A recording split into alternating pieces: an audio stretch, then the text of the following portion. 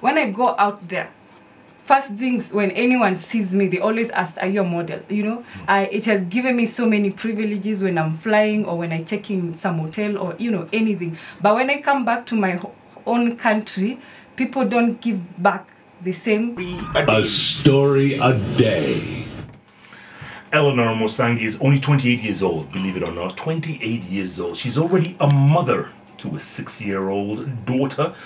When I go out there, first things when anyone sees me, they always ask, "Are you a model?" You know, I it has given me so many privileges when I'm flying or when I check in some hotel or you know anything. But when I come back to my own country, people don't give back the same. Um, uh, the story is incredible. She'll tell us uh, she almost had her a bit by mistake and almost gave her up for adoption because what was happening was she was trying to get her career going and career as a model, make that a supermodel. That's what she's always wanted to be. Ever since she watched her first episode of America's Next Top Model, she always knew she was destined for this. And you can tell she's got the height, she's got the look, she's got the confidence, and she always wanted to be a supermodel. So she has a kid and she tries to enter all these competitions. Guess what they tell her? No way, you, you have a child. No way. Allah? Yeah. This is Miss World, this is Miss Beauty, Miss this, Miss that. So you're not allowed. Disqual- instant disqualification. Pop Can you imagine that kind of discrimination? So then she enters Miss Global Kenya. Hmm. First time, second time, third time. She's getting to the top three. That's it. Top three, that's it. Ananusia tu hivi. and inuzia kutoka mbali since 2017 finally on her fourth try she gets it and she's crowned miss global kenya. Hey. congratulations for that which means that this coming august hmm. she's off to bali in indonesia. Hmm. Na, na si mali. Usiseme mali. Bali. bali. In indonesia hmm. where they're going to crown the world's miss global. Eh. So what a story. Eleanor Musangi, welcome to the studio. Good to see you. Thank you, Jeff. How you doing? Clyde. I'm fine. Look, uh, the minute you walked in, I could tell you have a lot of confidence. Is this something you had growing up? Although, I mean, do you were you always this confident? You walk into the room and you own the room. I think it came from my bringing, being the firstborn. I had to take on responsibilities at quite an early age, and also the kind of life that I've lived has exposed me to be in a place where I have to be confident for myself. Because as a single mom, you have to watch out for yourself as well as watching out for your kids' well-being. When did you know you were destined to be a model? How old were you? mostly from people's compliments. But my dad, my dad saw it in me. He was a very exposed man to life, based from how he named me, because he named me after Eleanor Roosevelt, hmm. and he used to tell me, you know, she's a unique woman until I I grew up and I came to learn about her. So that kind of conf- that kind of exposure that he gave me is what instilled the confidence that I've grown up with. Yeah. Yeah. So w- when you were studying, what did you want to be when you grew up? What did you? What was your intention? I wanted to be a journalist. retirement things but out in niende sasa. Roho safi. do you still want to Yeah. You still want to, huh? Yeah, I Oh, very good. I actually went back to school late in 2020 Mm-hmm. to pursue communication, so it's something in the future that I still want to get in. in. very good very good so now uh, you suddenly find yourself pregnant. And you're in the middle of pursuing this dream of yours Yeah. right? What happened what goes through your head? Like now you're carrying a baby and you're 22 i mean you're very very young. What happened? When I look back, I would only say I was naive, and uh, I was very young, and I was naive, and I was also a bit ignorant. Like I, because in school they taught us these things. You should not have unprotected sex and blah blah blah blah. But you know, you meet someone, you fall in love, and you know you just become ignorant of some things, and especially not knowing the long-term consequences these things might have on your career and the future that you're you're setting out into. So uh, primarily, when I look back, that is what actually caused me to get pregnant. I was very ignorant. and your parents what did they think about it of course, my mom wanted to kill me. I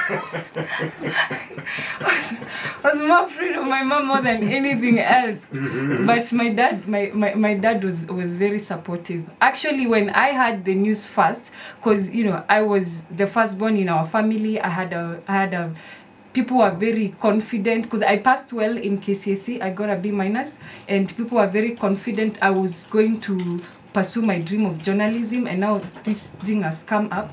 To be very honest, the first thing that I wanted to do was commit suicide. Yeah, and, and, and I called my dad, and, and he was in the village. And he told me, no matter the case, I'm there with you. He actually looked for a friend of his who had a taxi to come and get me from where I am. Because believe me, had my dad not taken that step, I would have gone off the bridge. Because I saw, like, I come from a family where I was struggling to help my parents make it better in life at that particular moment. And so when I saw what I had done to my own self, the only best option that came to my mind was to end it. Oh my goodness. Jump off a bridge. Yeah. And you look at your daughter now, six years later. What do you see? She is the pride of my life. My, I, her name is Chanel.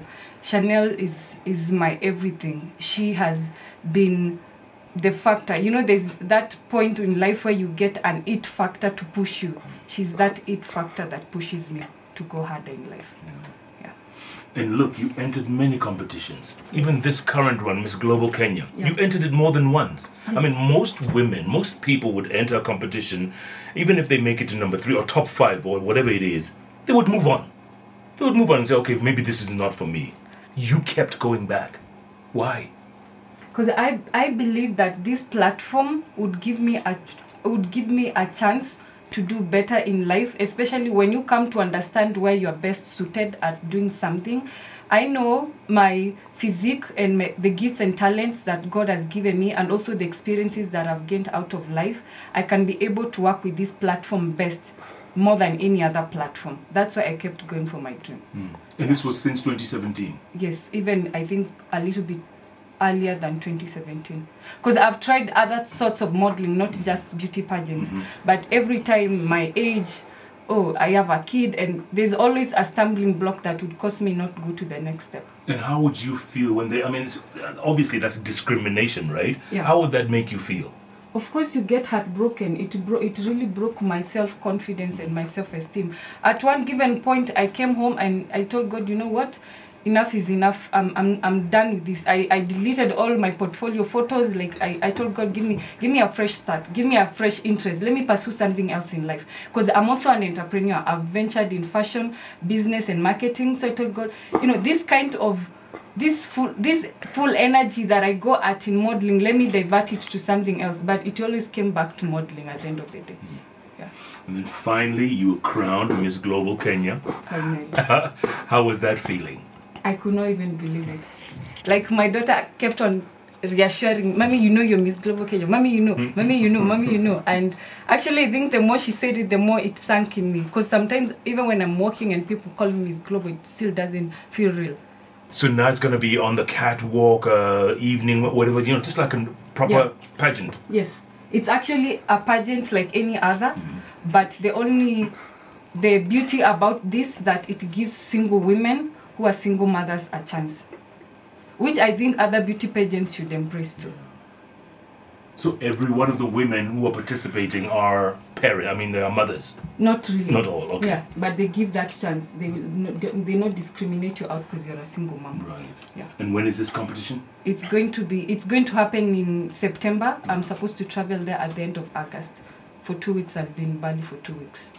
And now you're ending up there as a contestant Yes. representing Kenya. Yes. Whoa. That's deep. That's very deep. Yeah, I love traveling, and uh, one one of the things that actually got used to discourage me, especially when I come back home, when I go out there.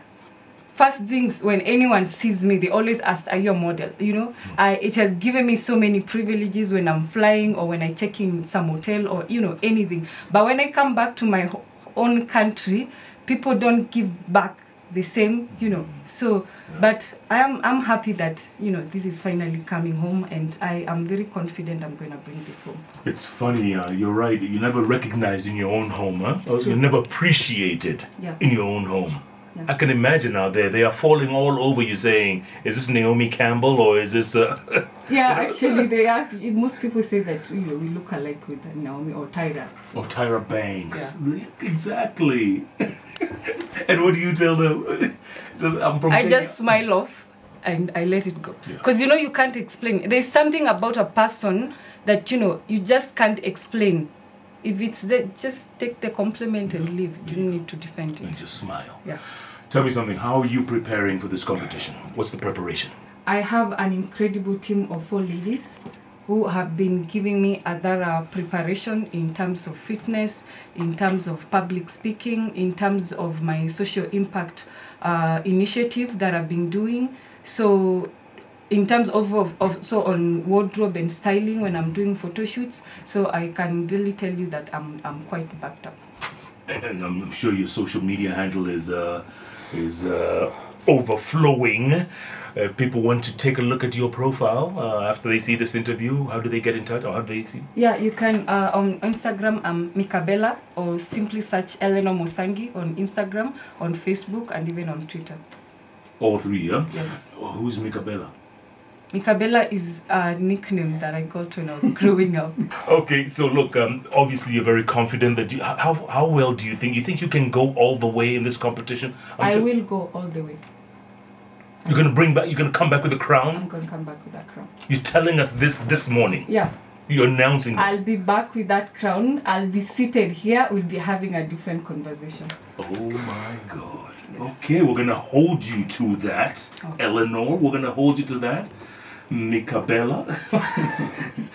and tell me, um, have you been looking at the competition? Obviously, you must be able to see the competition online or wherever they are. Can you see them? Are you? Yes, I can see Mhm. at least not the current ones, but the ones that have gone there before me, and you know how they've performed. So I've learned from them, and I purpose to outperform what they have done. Hmm.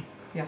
Do you have to have a special skill, any, any, anything, or you know, singing or whatever? Do you? Is it- Not not really, Okay. Hmm. but basically, what do I bring? What do I bring? Why should they pick me as Miss Global? For me, I believe, I believe I have a teachable learning attitude, and as long as we are willing to learn, there's always room for better. This competition, actually, Miss Global deserves better, and better is what I'm going to give in Miss Global. Yeah. Are there uh, other Africans coming as well? There, Yes, there are other Africans. Mm-hmm. Who is the last winner? Has an African ever won Miss Global? Actually, no. Hmm. I, I hope to be the first one to actually bring this on Miss Global. Look at this. And you're confident, aren't you? I'm very confident, Jeff. What if it doesn't happen, Eleanor? What if, I mean, look, life has a way of, you know, uh, has a sense of humor. Sometimes you, you, you get so close, like you've done before. Yeah. You've come so close to winning Miss Global Kenya, and you didn't. You came third, you came second. What if you don't make the top three here? If I don't make the top three, I'm going to continue what I've been doing. I have a social impact plat- uh, initiative. It's called Gift a Child. I've been doing Gift a Child now for the last nearly four years on my own, from my own contributions and maybe a few of my friends. Which basically I do is I feed kids and I empower single women to rise above their the situations of the challenges that they are facing. So even if that doesn't go through, I still have a purpose for me, which is even more driven than having that crown on my head. Because I believe you are not a model because someone gave you a crown on your head. You're a model by what you do. And at 28 years old, you don't think you're getting too old at this? I, I'm just, you know, playing devil's advocate. I'm just.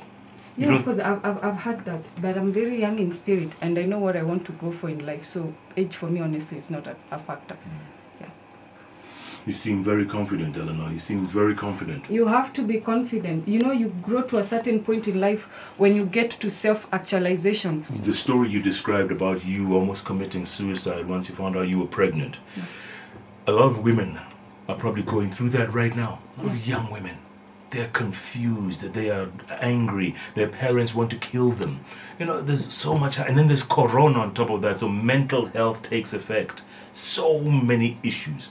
What do you tell that young lady out there? What do you tell her if she finds herself in the position you were in? Find someone and talk to them. honestly talk a lot of people are perishing because you, you you feel like if you hold it in by yourself you'll be able to manage it.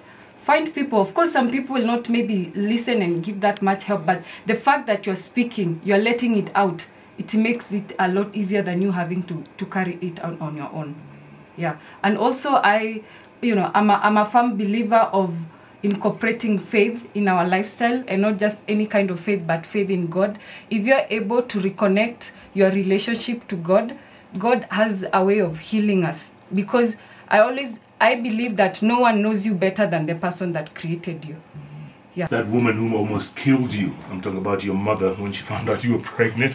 what does she think now? she is my number one fan because first of all she loves my daughter too much you know it gets to a point i i, I tell her mom you, you know this is my baby you know like you, if let's say i'm i'm disciplining chanel on something you know mom will tell me i'm too strict i'm like mom you were worse than this when i was growing up you know but it, life has a way of, of also healing healing things up with time You're guaranteeing us, Eleanor, today you're gonna win the Miss Global? Yes, I think I'm the I'm the first one of you know so far that I've seen on beauty pageants giving out such a promise, and by the grace of God, I know that I'll be able to deliver this.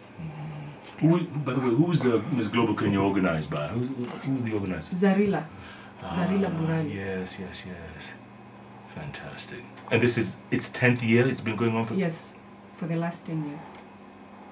How far has a Kenyan gone in the last 10 years? How far? Uh, the last one, I think she got to less than top twenty-one. Whoa. Yeah. And you are serving notice. Number one Niyako. Hmm? I'm not going. I'm actually not going to co- compete. I'm going for my crown. I like that. You're not going to compete. Yeah. Nenda kuchukua tu crown yako. Yeah. Helena Musangi, I'll give you the final word now. A lot of people are listening to you for the very first time. Probably they've never heard of you, but they've listened to you for the first time, and a lot of people are very impressed. Uh, what do you tell them? Elena Musangi heading to Bali, Indonesia to compete in Miss Global. What do you tell them? One, I have two things. One, reconnect your relationship to God. You know, having a healthy and active relationship with God will take you far through in life than most of anything else that will ever come through. And two, always believe in the beauty of your dreams because dreams do come true. Yeah. And dreams, like uh, Lupita Nyong'o once said, dreams are valid. Yeah. Dreams do come true. That's my mantra in life. Dreams do come